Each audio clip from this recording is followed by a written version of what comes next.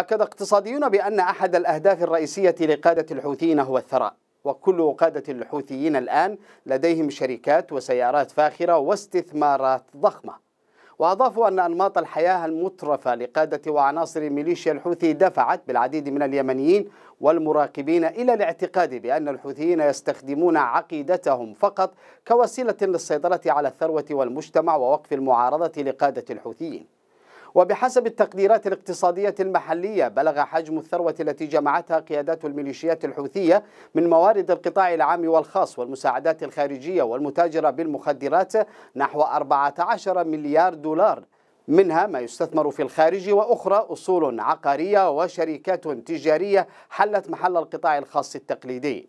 وقد تجاوزت ثروة قادة ميليشيا الحوثي رأس مال أكبر مجموعة صناعية وتجارية في البلاد والبالغة عشر مليارات دولار.